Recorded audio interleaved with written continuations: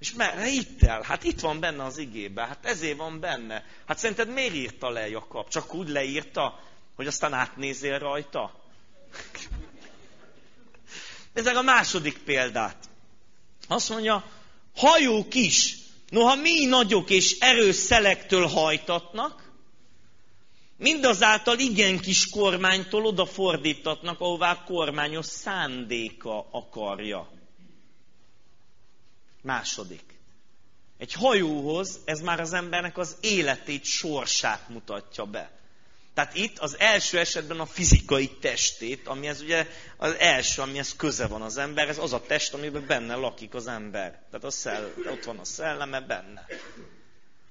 Azt a nyelvével tudja irányítani. És itt azt mondja a hajóval kapcsolatban, hogy ahelyett, hogy a, a különböző szelek, ugye a görögben ugye pneumák, tehát szellemek, tehát különböző sors formáló erők oda hajtanák, ahová ők akarják, és ezzel az egész sorsát el tudják rontani az embernek. Azt mondja, hogy a nyelvünk az olyan, mint az a kormány lapát, amit az emberek elhelyeznek egy hajóba, úgy helyezte el Isten a szánkba, hogy a mi nyelvünkkel kezdjünk el úgy beszélni, hogy akármilyen viharok vannak a életnek a tengerén, a nyelvünkkel, ha beszélünk, és jókat mondunk, és, és tudatosan használjuk a nyelvünket, akkor semmilyen olyan vihar nincs az életedben, ami téged az Isten szándékától, akaratától ki tudna billenteni emberek. Ezt jegyezd meg a nyelveddel. Csak te mire használod? Azt mondod, hogy uha, milyen, milyen erők vannak. Fú, hát itt most vége lesz az egésznek. És ami a nyelve, ezt tudod mit jelent? Mint az a kormányos, jön egy nagy szélvihar, és, és elengedi a kormánykereket, és arra tekeredik, mert van, aki így használja a nyelvét, hogy jön egy szél, erre tekeredik az egész. És akkor azt kezdi el mondani, amit akkor éppen, ahogy állnak a dolgok. Aztán jön máshonnan egy szél, és akkor elkezd másik fele tekeredni a kormány, és akkor azt kezdi el mondani. De hát emberek, jegyezzétek meg, a kormányjal irányítani lehet. Azért van a szánkban a nyelvünk, hogy irányítsuk a sorsunkat. Kezd el a sorsodat irányítani. Kezdj el kimondani. Akármilyen szelek vannak, akármilyen szélviharok, sas kesejük szállnak le rád, akkor is kezd el a száddal. Ott kezdődik, ez az alap, hogy hozd ki az áldást a szádba. Helyezd bele a sorsodba azt az áldást, amivel Isten megáldott téged. Hallod? Helyezd bele a sorsodba azt az áldást, amivel megáldott téged Isten. És ne sopánkodjál, hogy, hogy ú, a sors, én milyen családba születtem, ilyen helyre születtem, nincs lehetőségem, és a többi, és a többi. Hát ezt tudod mi, amikor ilyeneket mondasz, akkor ez a sors, tehát ezek a szelek hajtják a hajót, nem használod a kormánykereket, és oda rángatják, viszik a hajót, ahová mennek. Tudjátok, Pállal is ilyen megtörtént, Abcselbe. Ugye látjuk azt, hogy volt, hogy hajótörés a vége. Csodálkozó, hogy sok embernek hajótörés a vége. Hát emberek, hagyjátok a szátokat, tehát nem használjátok a szátokat, és a életednek a viharai ö, oda sodornak, ahová ők akarják, és te engeded ezt, hát ne csodálkozz, hogy hajótörés szenved, az nem Isten a hibása miatt. Azért adta a nyelvet. Érted, oda kerülsz az Isten, és megmondja Isten, miért nem használtad a nyelvedet? Hát azért tettem be a szádba. Miért nem használtad? Hát az, hogy hajótörés szenvedtél, az, ne, az magadnak köszön. Mindenkinek az életében vannak viharok, nem csak neked. Nehogy azt hitt, hogy csak te vagy az, aki viharon mész át. Mindenkinek az életében vannak viharok, de nem mindenki hagyja a hajóját kormányozás nélkül, mint te. Hanem el kell kezdeni tudni megtanulni a kormányzásnak a művészetét, és meglátod, hogy még azok a szelek, amikről úgy néznek ki, hogy, hogy károdra lennének, bukásodra lennének, arra lennének, hogy vége legyen az egész hajóutadnak, kiderül, hogyha helyesen kormányzol, akkor kiderül, hogy még hátszelet is tudnak adni neked. kiderül, hogy a javadra is tudnak lenni azok a dolgok. Na, mit szólsz hozzá? Szerintem óriási. És ezért nem kell, tehát sopánkodni, nem kell, mert ezzel továbbra is azoknak a szeleknek adsz uralmat az életedbe. Kezd használni jól a nyelvedet, és meglátod, áttörés lesz. Meglátod, hogy, hogy sokkal jobban fog haladni az életed. Harmadik esetben azt mondja, a nyelv is tűz. Hoppá, itt már egy kicsit, vagyis a ötös verszak. Ezenképpen a nyelv is kicsintag, és nagy dolgokkal hányja magát. Csekély tűz, mi nagy erdőt felgyújt. A nyelv is tűz, a gonoszságnak összessége. Tehát magyarán a gonoszság, tehát a sátánnak a hatalma a nyelved által ki tud jönni.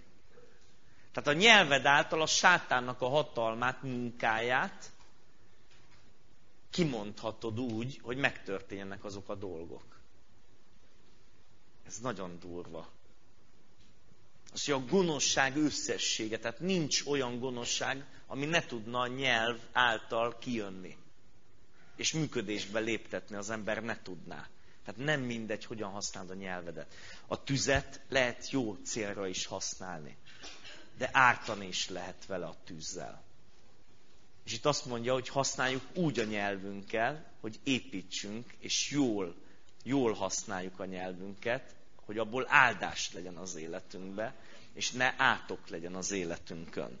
És ezért mondja, hogy látod, hogy ugyan, tehát a szájból jön ki az áldás. Én erre szeretném most felhívni a figyelmeteket. A szájból jön ki az áldás. Hallod? Jön ki. Ha nem használod a szádat, nem jön ki. Oké? Okay? Nem jön ki, ha nem használod. Nem jön. Ott lesz benned, de nem lesz működőképes. Jön ki az áldás. Tehát ki kell, hogy jöjjön az áldásnak ahhoz, hogy működésbe lépjen. Oké? Okay? El kell kezdeni használni. A másik, a korintusi levél, 1 Korintus 14, ez is nemrég tűnt fel nekem. 1 Korintus 14, figyelj mit mond. 16. verszak. Ha lélekkel mond, tehát szellemmel mondasz áldást. Látod, mondasz áldást. Tehát itt is pont erről az alapelvről beszél, hogy a nyelvvel mondod ki az áldást. Azt mondja, mondasz áldást. Mondasz áldást. Tehát a beszédedet tehát az áldás működésben lépéséhez beszéd kell. Beszélned kell róla. Na mit szóltok hozzá? Látod, azt mondja utána, szépen mondasz áldást. Tehát ugye 16, 17. verszak. Szépen mondasz áldást, más nem épül abból. Hát hoppá, akkor van olyan, hogy kimondom az áldást, és lehet épülni abból, és nem használod ki. Mert itt erről, látod, itt azt mondja, hogy más nem épül, még miért, mert nem értelemmel beszélek, akkor más nem érti azt, tehát nem épül belőle. De várjunk egy kicsit. Azt mondja, hogy, hogy más nem épül abból. Tehát akkor, hogyha beszélek, és kijön az áldás, akkor épülök abból. Mert ez ezt is jelenti. Tehát az áldás, ami kijön belőlem a számon keresztül, az épít. Szeretnéd, hogy épülés legyen az életedbe? Szeretnél változásokat? Na akkor kezd el a szádon keresztül kimondani azokat az áldásokat. Mert minden áldással már meg vagy áldva. Már az az áldással is, ami, ami most még fizikailag hiányzik az életedből azok a dolgok, de, az, de annak a szellemi áldásával már meg vagy áldva. Kezd el rámondani és kimondani az életedre. És meglátod, hogy, hogy meg fog történni. Meglátod, hogy elkezdődik a megvalósulása azoknak a dolgoknak. Jó, nem? Szerintem óriási ez. És ezért fontos az, hogy tudjad, hogy már meg vagy áldva, hogy ezt elő kell hozni emberek. Hogy ezt nem valahogy el kell először érni, mert akkor egész életedben azon dolgozol, hogy valahogy elérd egyáltalán Aztán kiderül, hogy igazából nem tudod elérni, mert látod a hibáidat. Látod azt, hogy nem jól, sokszor nem úgy csinálod a dolgokat, nem jól csinálod a dolgokat, és egy nagy károsztatás lesz a vége, hogy úgyse tudom akkor már elérni, akkor már nem mindegy nekem. Hát nem. Nem, azért nem, mert ezzel már rendelkez. Azért, mert a fridládád már ott van az otthonodban, ember. A mi Dávidunk behozta a fridládát házunkba, és nem viszi el három hónap után.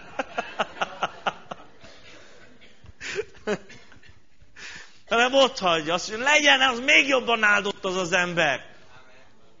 Jön be, még jobban az áldás nyilvánuljon meg. Mert érted, mert azt mondja, hogy az Úr megáldotta Obededomot. De hát figyelj, miért? Ott volt a ládát, mert a ládát figyelte. Ott van a házában a láda, ezért megáldom.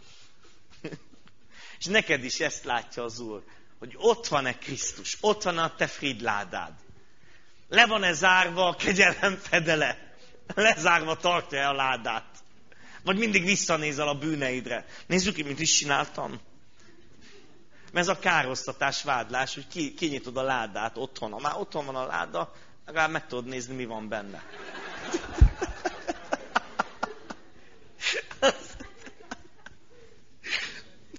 Titokban úgyse látja senki. Azért jó néha a, a múltal is felidézni, hogy azért de hát ez nem így van.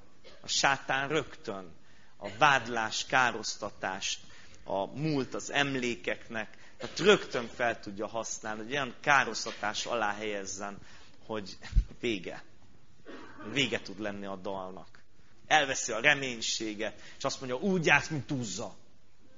Te leszel Peres Uzza kettő.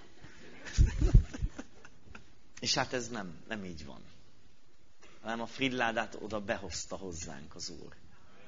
Befogadtuk a fridládát az otthonunkba, a szívünkbe, behívtuk, sőt, mi hívtuk, mondtuk, hogy gyere be a szívünkbe, lakjál velünk, legyél itt az életünkbe. És az Úr rád néz, látja, ott van a láda.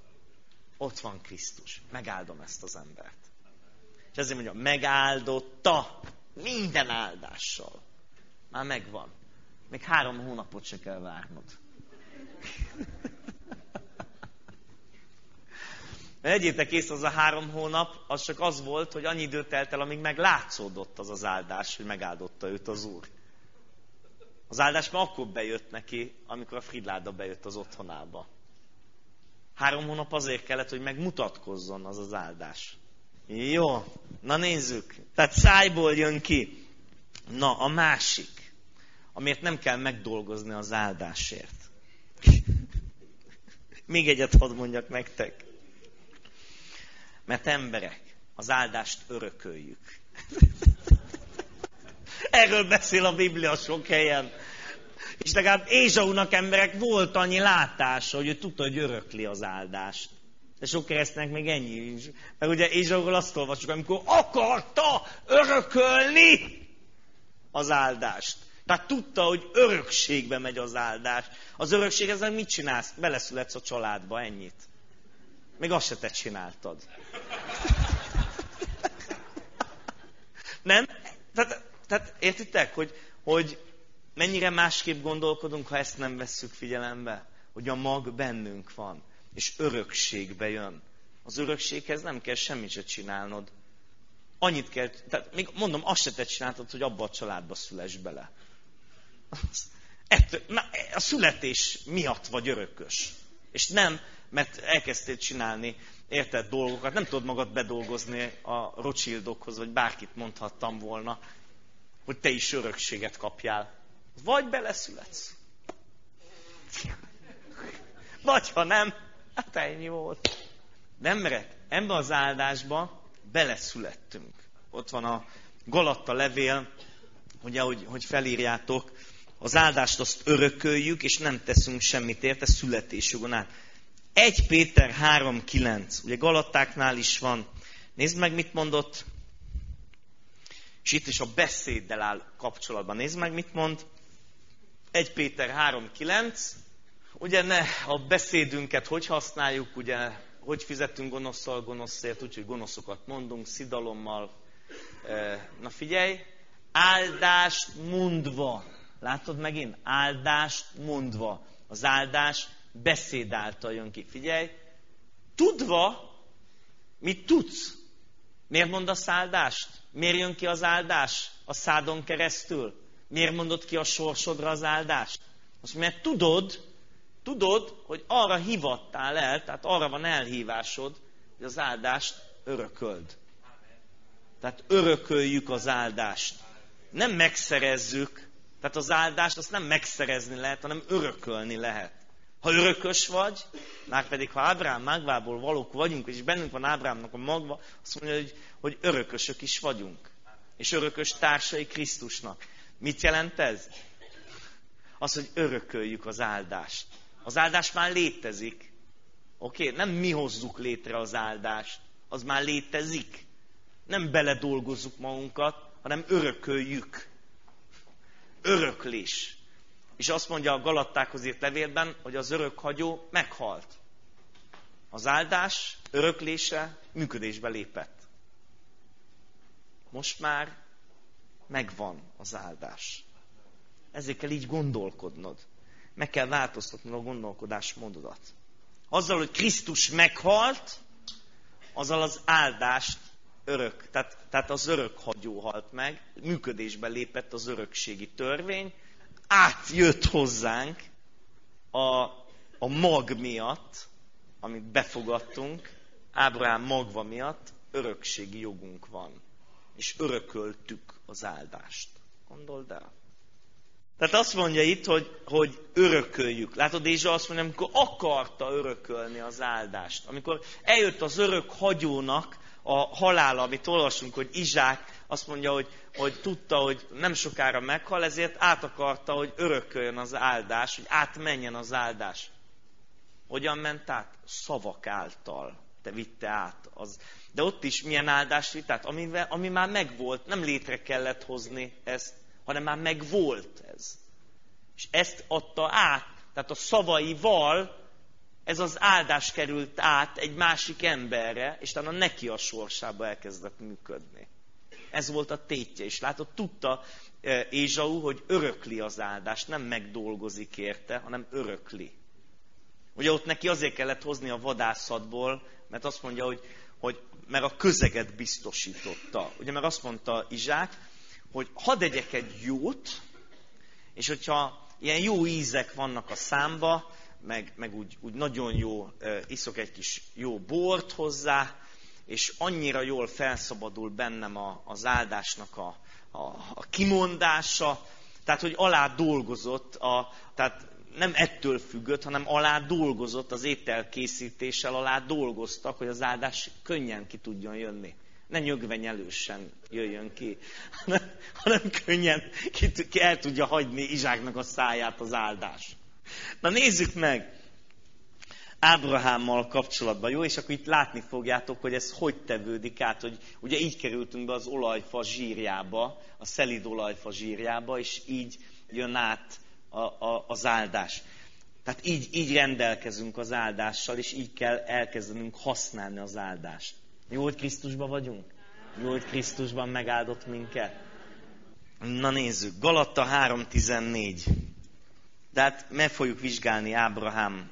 Na jó, ezt majd később ide visszatérünk. Ábrahámmal foglalkozunk. Azt mondja a zsidó 6.13, nézd meg mit mond, mert Isten 6.13.14, mert az Isten, amikor ígéretet tett Ábrahámnak, mivel hogy nagyobbra nem esküdhetett, önmagára esküdött, mondván, bizony megáldván megáldalak téged, megsokasítván megsokasítalak téged. Tehát honnan indult ki az áldás? Az áldott Istenből. Tehát az áldott Isten áldotta meg Ábrahámot. És így jött a földre a szellemi áldások a mennyből, úgy jöttek a földre, hogy egy ember kellett ahhoz, hogy, hogy ezek realizálódjanak és megmutatkozzanak a, a sorsokba és az életekbe.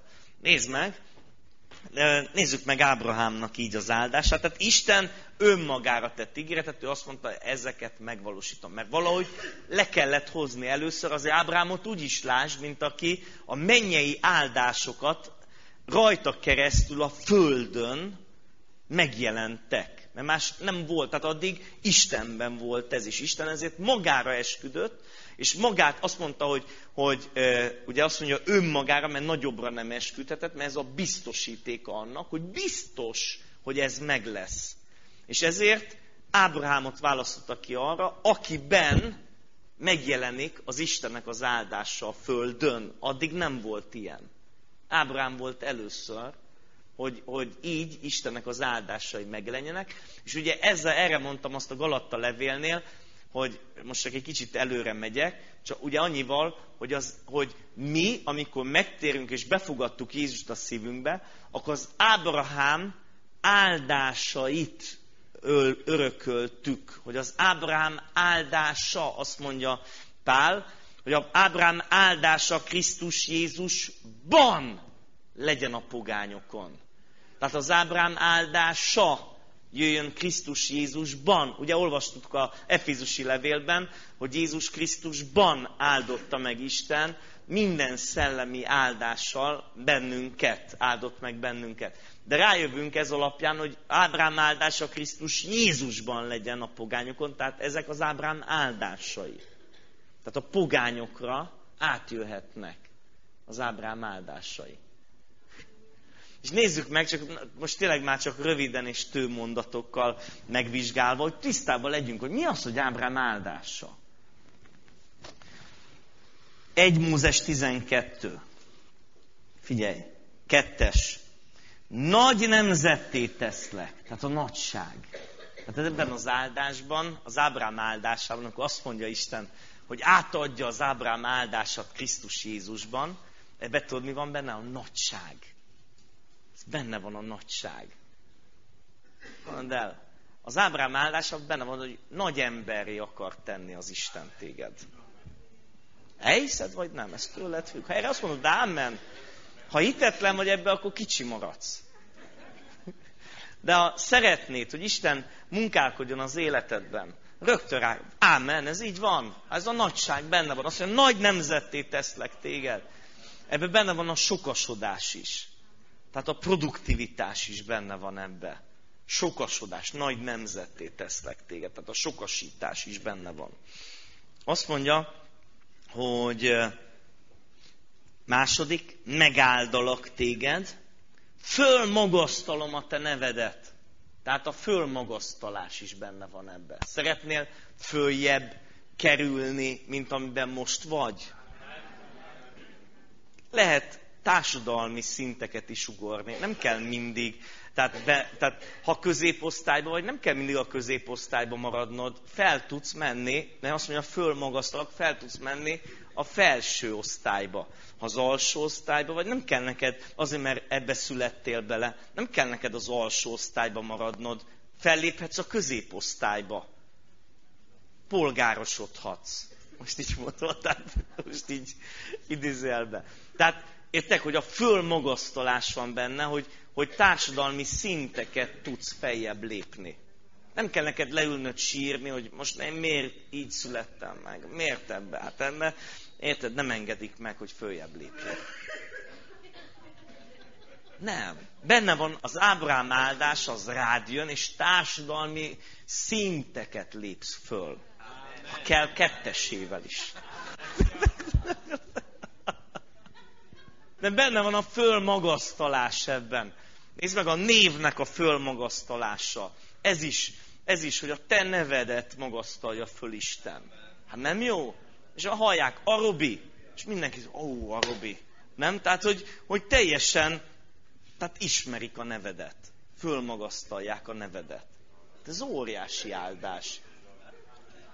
Ilyen létrejön, nem?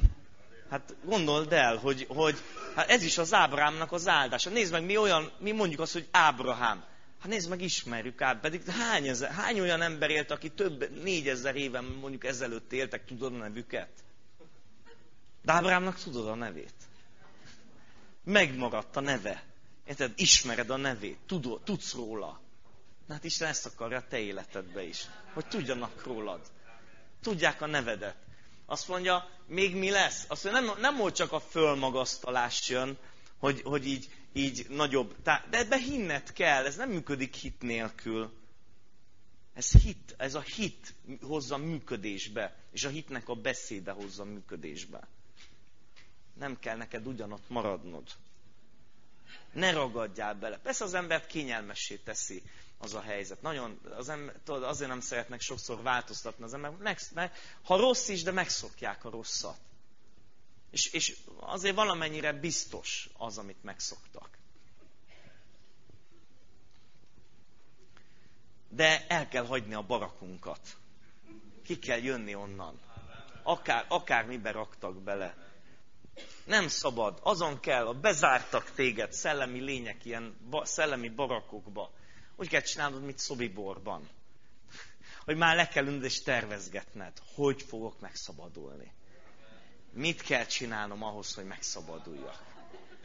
És, és ki kell törni abból. Ott kell hagynod azt, azt a sorsot. Azt az ördög írta elő neked. Abból ki kell szabadulnod, ki kell jönnöd belőle. Tedd meg a szabadsághoz vezető utadba az első lépéseket. Meg kell tenned. Lehet, hogy szokatlan dolgokat kell csinálnod ahhoz. Mondom, szokatlan dolgokat, tehát amit nem vagy hozzá szokva. De kezd el megtenni a szokatlan dolgokat. Legyen hited benne, hogy megteszem ezt. És meg fogod tapasztalni a szabadulásnak az útját az életedben. Csináld másképp a dolgokat, és meglátod, hogy tudnak másképp is működni. Nézzük, itt nem csak az van, hogy fölmagasztalja a te nevedet, azt mondja, áldás leszel. Te leszel az áldás. Emlékeztek, volt a Jákob, amikor, tehát majd úgy is mondjuk, hogy amikor örökölt Ábrám áldását, elment Lábánhoz. Hát fölvirágoztatta. Fölvirágoztatta Lábánt. És akkor mondja Lábán, így elbeszélget Jákobbal, azt mondja, hát úgy sejtem, te miattad áldott meg az Isten.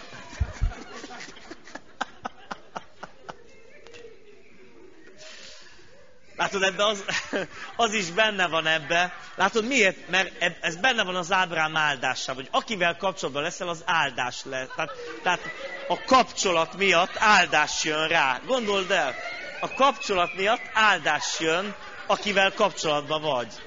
Az Ábrám áldása miatt.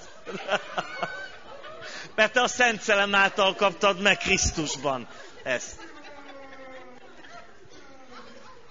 És tudod, mi az óriási ebbe? Hogy, hogy úgy, hogy a másik nem is tudja, és megy az áldás rá.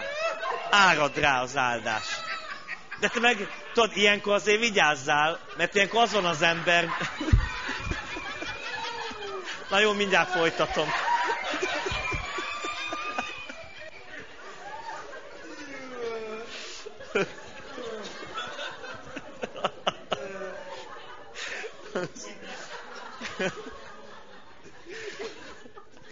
Ilyenkor tudod, mire kell vigyázni? Az ember ne irigykedjen. Mert mondhatta volna azt Jákob, Uram, miért a lábán áldottad meg? Miért nem engem, ha már én miattam áldasz meg embereket? Annak is eljön az ideje.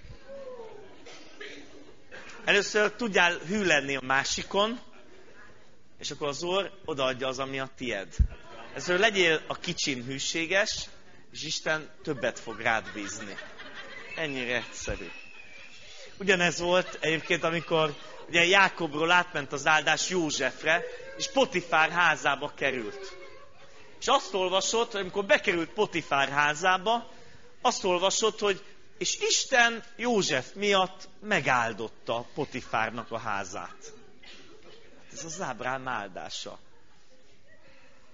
hanem belépsz egy, egy munkahelyre, és fölvirágzódik a munkahely. Nem megy tönkre, hanem sokkal több bevétel. Ráadásul imádkozz azért, hogy a főnök rájöjjön, hogy ez te miattad van.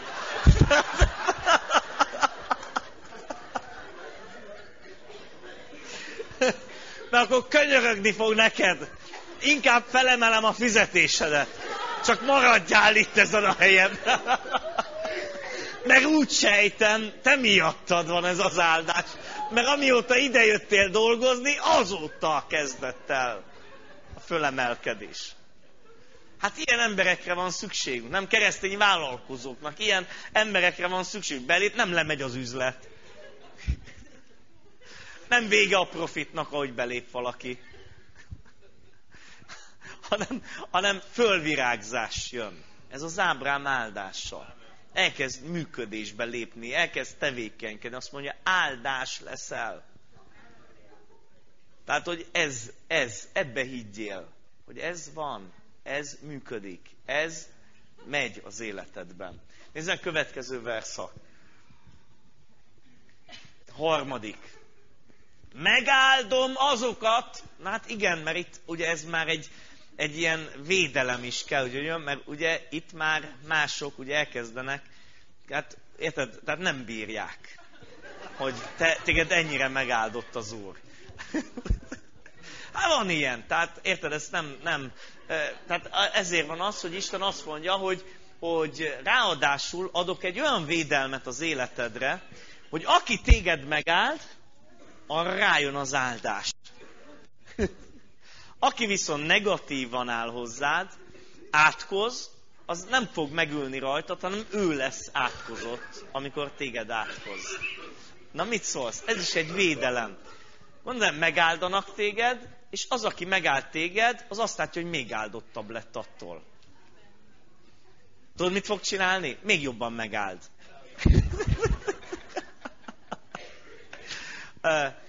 De, ha viszont, érted, van olyan, aki meg azt mondja, hogy fú, ettől az embertől kiráz a hideg. Ez nekem nem tetszik. Elkezd átkozni, és ez csak azt tapasztalja, hogy amióta hozzád ér,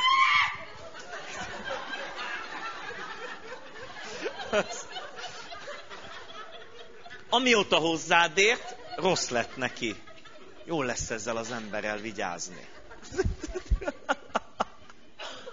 Ez a jó, hogyha így, így tehát ezt, ezt tudják az emberek megtapasztalni. Jó lesz vigyáznom vele. Inkább nem szólok semmit. Nehogy valami bajom legyen. Ez is az Ábrám áldásaiba tartozik bele. Ez egy védelem.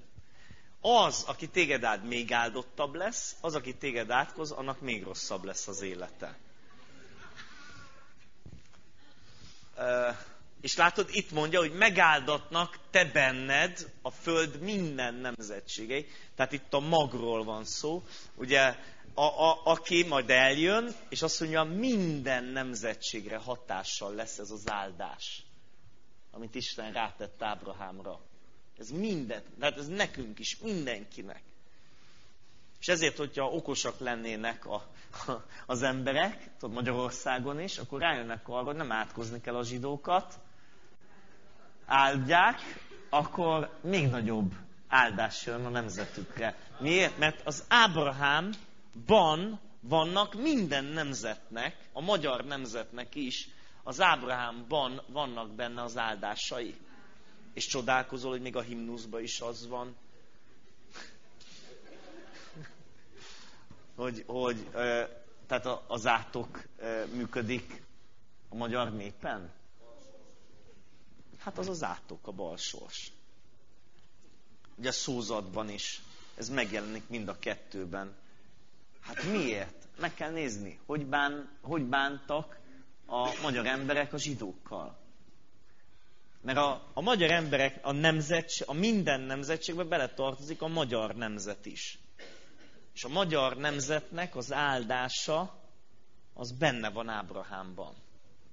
Azt mondja, 22. fejezet, ugye amikor Ábrám kész feláldozni a fiát, ezt miért, miért tette meg Isten Ábrahámmal? Nem azért, neked is ezt kell csinálnod, hanem azért, mert, mert ki akarta próbálni, mert olyan áldást akart ráhelyezni, amit még nem csinált egyetlen egy emberrel se a Földön.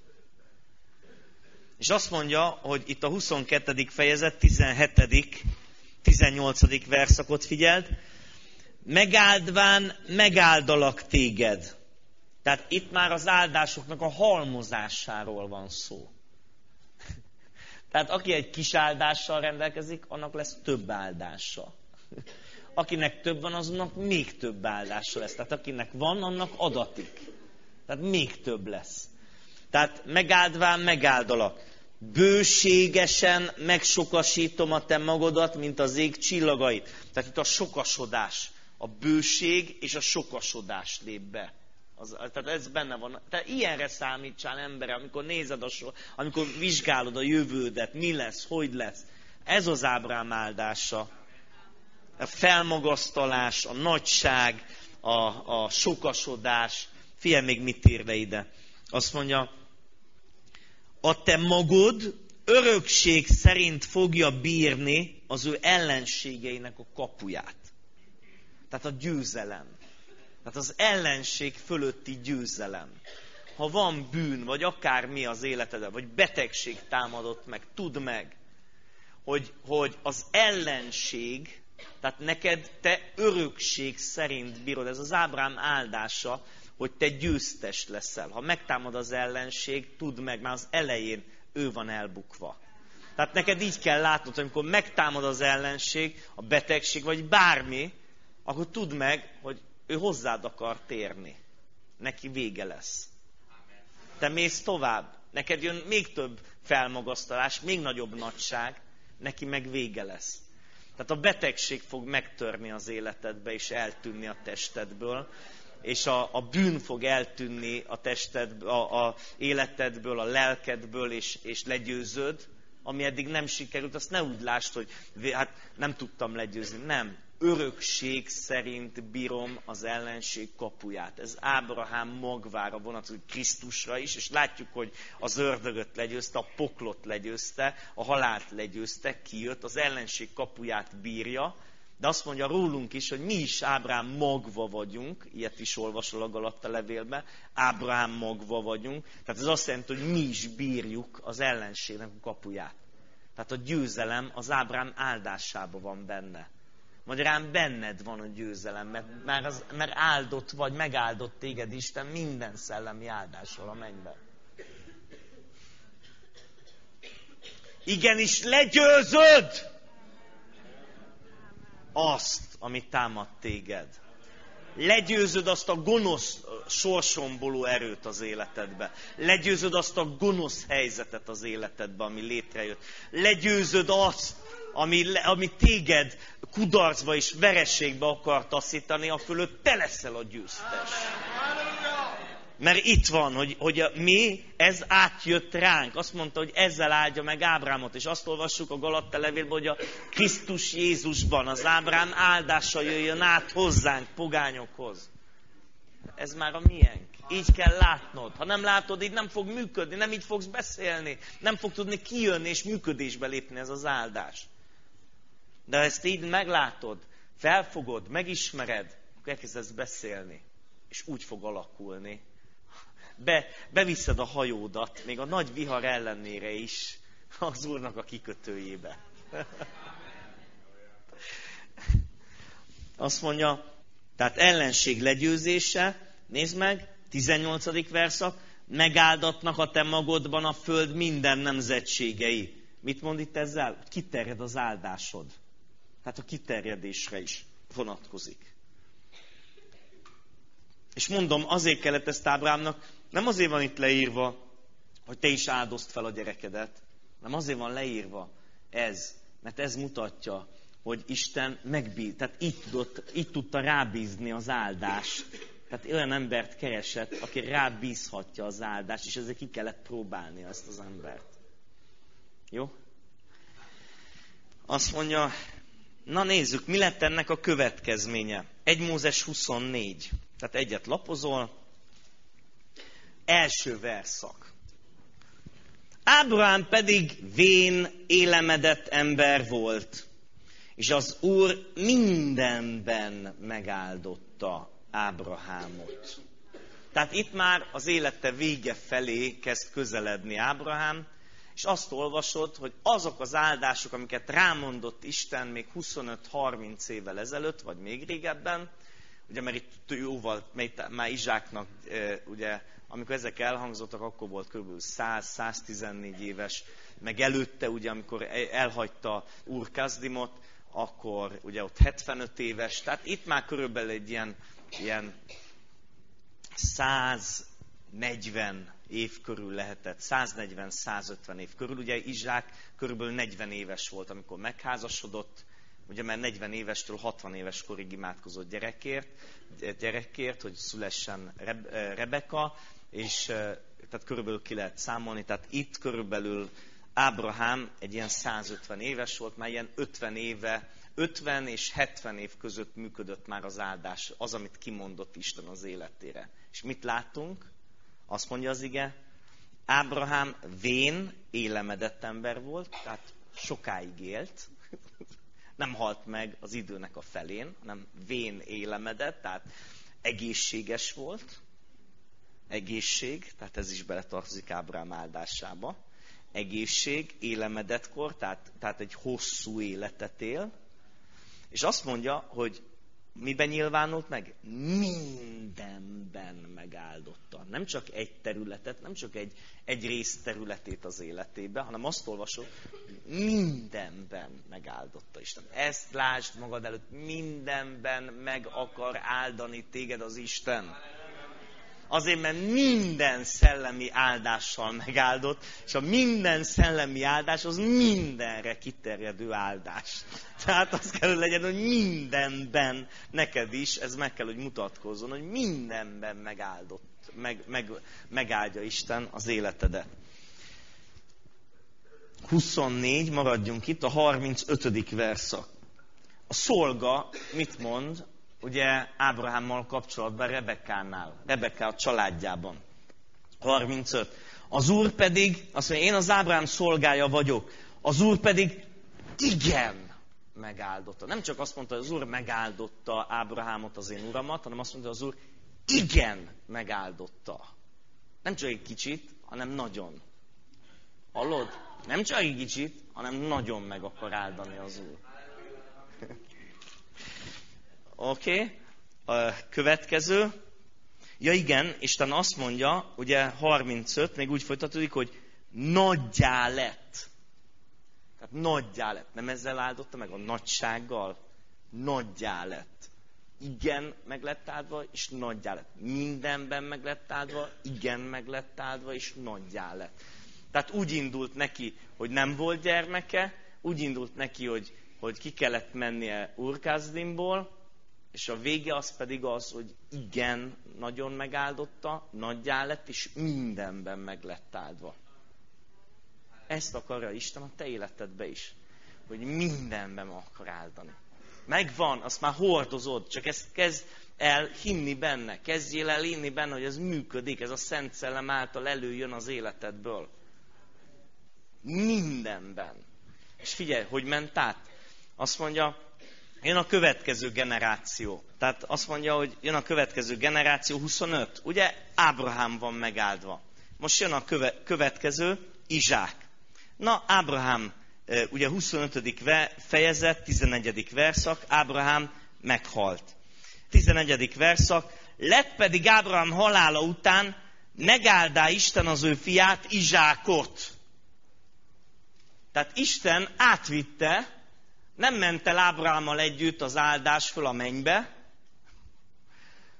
hanem azt mondja, hogy a paradicsomba, hanem ott maradt az áldás, és azt mondja, hogy átment, ez az áldás, amivel megáldotta Isten Ábrámot, ez átment Izsákba, átvitte Isten Izsákba. Hát nyilván szavak által ezt Ábrahám ugye kimondta, és Isten átvitte Izsákra ezt. Na figyelj, mi történt.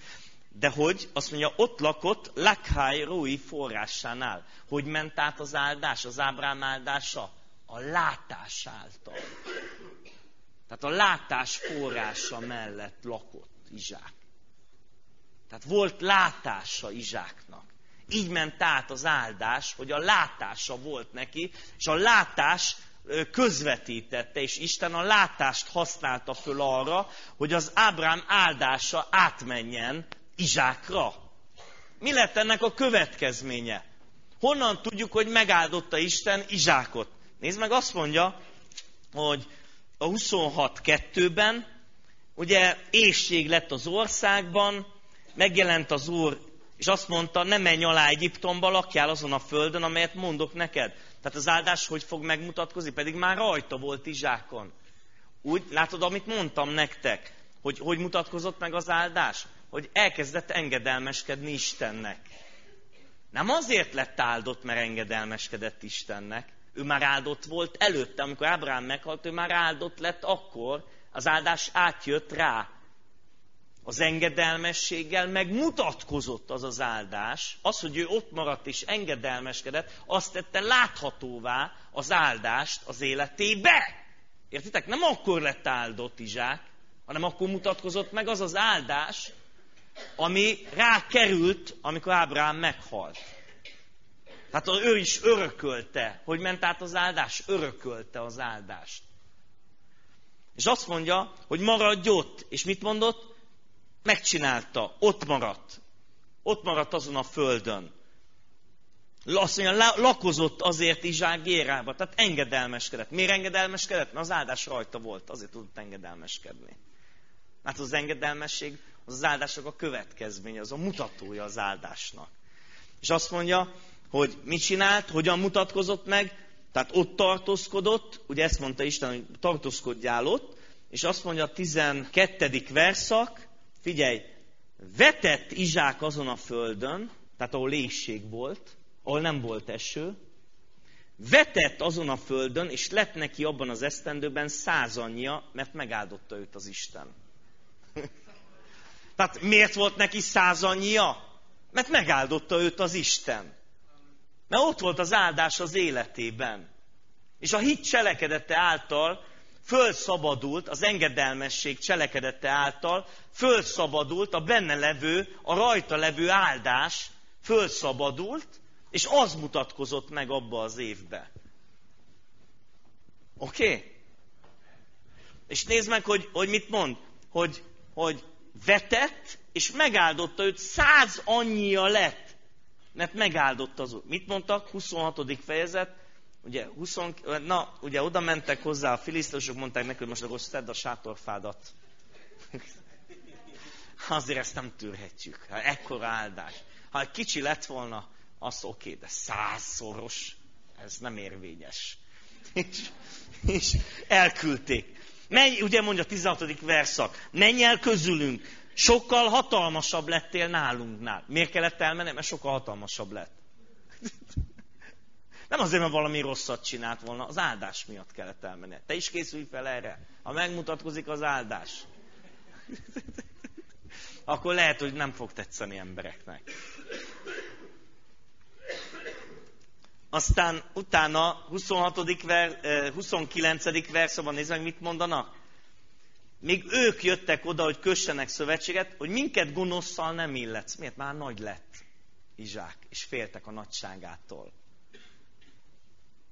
Pedig, pedig kisebbségbe volt Izsák ott a filiszteusoknál, de olyan nagyságot ért el az áldás által, hogy ők mentek, és ígéretet kértek tőle, hogy ugye nem fogsz bántani minket. Azt mondja, ugye nem fogsz gonoszszal illetni minket. És ugye mi sem bántottunk téged. ez, ez, ez óriási. Tehát, hogy, hogy ugye ez a, ez a felejtés. Tehát, hogy, hogy, hogy hát nem, nekünk semmi bajunk nem volt veled, Izsák.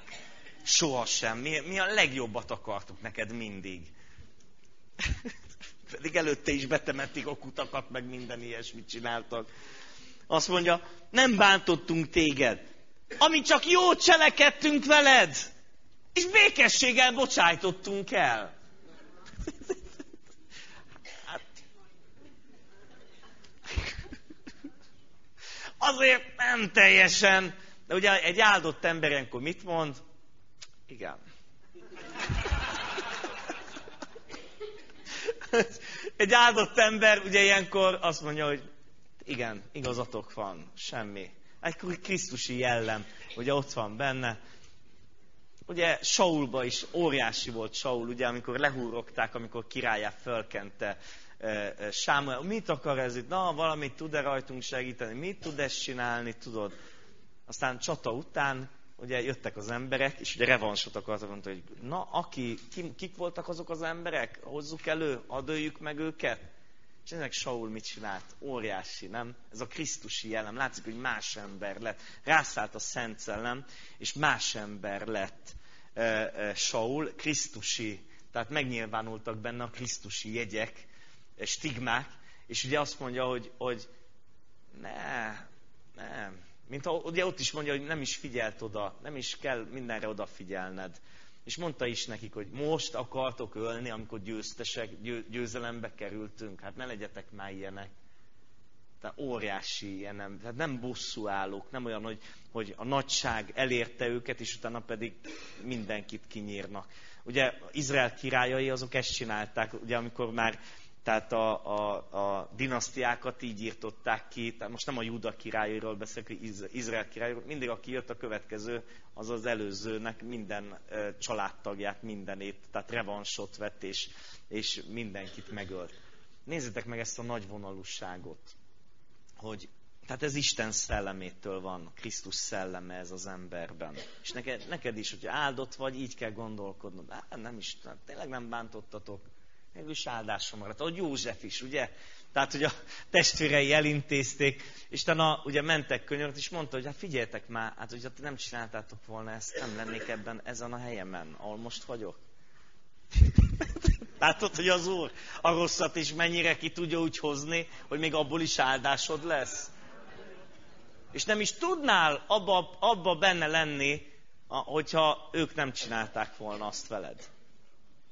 Hát akkor nagy vonalon mit csinálsz, mint ahogy megcsinálta ezt Izsák is, tényleg nem is volt semmi baj. És amit mondott József is, hogy fiúk nélkületek nem lennék itt ezen a helyen. És mit mondtak neki még? Azt mondják, figyelj, azt mondja 20, 29. verszak, azt mondja, te már az Úr áldott embere vagy. Hát ezt még az ellenség is elismerték. Nincs visszaút.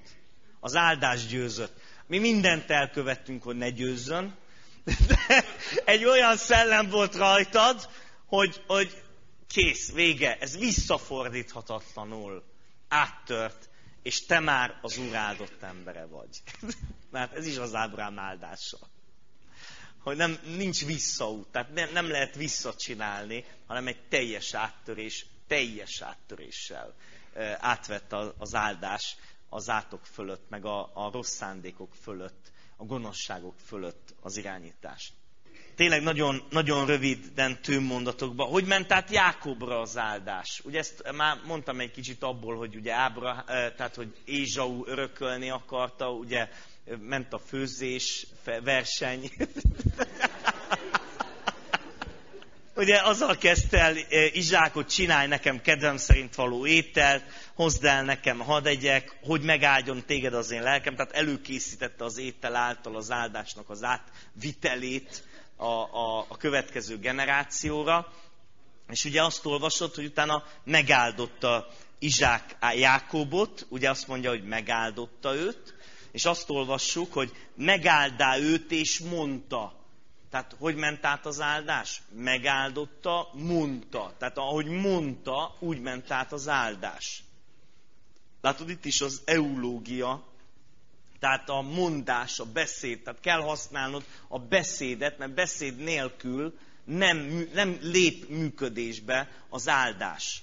És az, tehát ezek az erők nem lépnek működésbe, hanem ott szunnyadnak, ott maradnak, nem lépnek működésbe, hanem csak úgy ott vannak és addig vannak ott, amíg ki nem mondják. És ahogy kimondják, akkor kezd el működni. Hát ugyanez volt a teremtéskor is, hogy Isten szelleme már ott volt. Ugye azt olvassuk, hogy ott Isten szelleme lebegett a vizek fölött. Ott volt, de nem csinált semmit. Ugyanúgy sötétség volt, víz volt, el volt tűnve a föld, nem látszott semmi belőle, és, és mélység színén, és a többi. Tehát ott volt, de ki kellett, elkezdett kell, hogy vala, tehát kell, hogy szóljon az ember, hogy működésbe lépjen. Na ilyen az áldás. Ott van, de amíg nem mondja az ember, nem lép működésbe. És én azért hangsúlyozom neked, hogy mondjad. Ember, értsd meg, mondjad. Ha mondod, működésbe lép. És elkezd tevékenykedni az érdekedben. És mondta, Izsák is mondta Jákobnak. És látod azt mondja, és lett, amint elvégezte Izsák Jákob megáldását, tehát el lehetett ezt végezni. Tehát ahogy kimondta, ahogy mondta, akkor, amikor befejezte a mondatát, akkor elvégezte a megáldást. És amikor jött a, a Ézsau, akkor azt mondta Jákob, vagy Izsák, azt mondta, megáldottam őt, és áldott is lett. Tehát ez is nagyon fontos meg, megfigyelni, hogy volt egy belső bizonyosság, de látod, erről van szó, hogy neked is kell, hogy egy belső bizonyosság legyen, hogy te áldott vagy. Mert Izsák ezt nem láthatta akkor, mert, mert érted, honnan tudta, hogy áldott is lett? Honnan tudta? Hiszen akkor áldotta meg. Az honnan, honnan, honnan tudja, hogy az lesz? Hát onnan, hogy egy belső meggyőződés kialakult, hogy igen, ez megvan. Igen, ez működésbe lépett. Áldott lett. Megáldottam és áldott lett. Ez meggyőződése volt. És nézzek, hogy mi lett a következménye? Utána nem, nem, nézd meg, hogy azt csinálja, hogy az ember is kimondja, és nézd meg, hogy utána az volt, hogy megjelent Isten Jákobnak, de egyébként az áldás után kapott megint kijelentés. Mi, mi történt Jákobbal? Vegyétek észre, hogy Béte, ugye Bételnél a, a lefeküdt aludni, és álmába kinyílt az ég, ugye látta, ahogy Istennek a létre, tehát egy létre van a menny és a föld között, és Isten angyalai jönnek le föl, viszik le az áldásokat, hozzák le az embereknek. És Isten szólt hozzá, és azt mondja, megáldalak téged. Megint mit vettél észre? Lakhairói, látás. Nézd meg, hogy, hogy mind, meg, megint a következő generációban hogy jött át a, a Izsákról Jákobra, megáldotta Izsák Jákobot, átment az áldás, azt mondja, áldott is lett, de Istennek is kellett, hogy egy kijelentés, tehát hogy adjon látást Jákobnak, tehát kell, hogy egy belső látás ösztönözze az embert, hogy ő áldott. És Isten neki is megnyitotta, adott természet fölötti látást Jákobnak, és nekünk is ezért kell, legyen látásnak. Érted? Nem csak az, hogy tudod és meg vagy győződve hogy áldott vagy, hanem látásodnak is kell, hogy legyen a nagyságról, és az Ábrámnak, a, ugye, amit vettünk, a, hogy, hogy milyen áldásai vannak, hogy, hogy ezek így működnek az életedbe, és Isten ebbe támogat téged. Tehát Isten fog adni látást ebbe. És nézd meg, azt mondja, hogy tehát magyarán Isten is megáldotta Jákobot, és egyetértett Izsák áldásával. Tehát egyetértett. Így ment át ugye Ábrámról Izsákba is, de Izsákból Jákobba is. Mi lett ennek a következménye? Jákob elment egy tarisznyával, egy bottal, és sokasággal jött. Magyarán azt, amiben meg volt győződve Izsák, és azt mondta, hogy megáldottam őt, és áldott is lett, az megmutatkozott körülbelül, hogy 20-21-22 év alatt megmutatkozott Jákobnak az életébe. Hát megmutatkozott benne. És ugye ez, ez átment, és figyeltek, és ezzel befejezem, tehát hogy csak azt vegyétek észre, ugye, hogy amit mondott Ábrámnak Isten, hogy a magodban áldatnak meg a föld nemzetségei, és ez Jézus Krisztus, és Jézus a Lukács evangéliumában a 24. fejezet 50-51. verszak azt mondja, hogy kivitte a tanítványokat Betániáig, tehát Jézus, azt olvasott, hogy felemelte a kezeit, Jézus, megáldotta őket, és lett, hogy míg áldá őket, tehát azt mondja a Biblia, hogy amíg áldotta őket, közben tőlük elszakadván fölvitetett a mennybe. Tehát hogyan ment el Jézus a földről?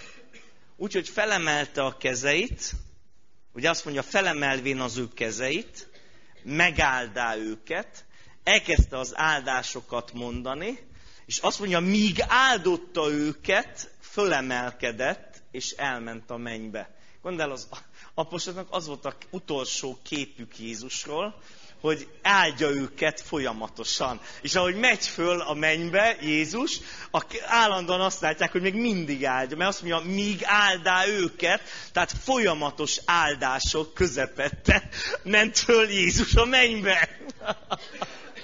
És ez a kép marad Jézusról, hogy most is, ezt tudod, hogy mit jelent, hogy most is Jézus Krisztusnak a kezei rád vannak fölemelve, és áld téged Jézus most is.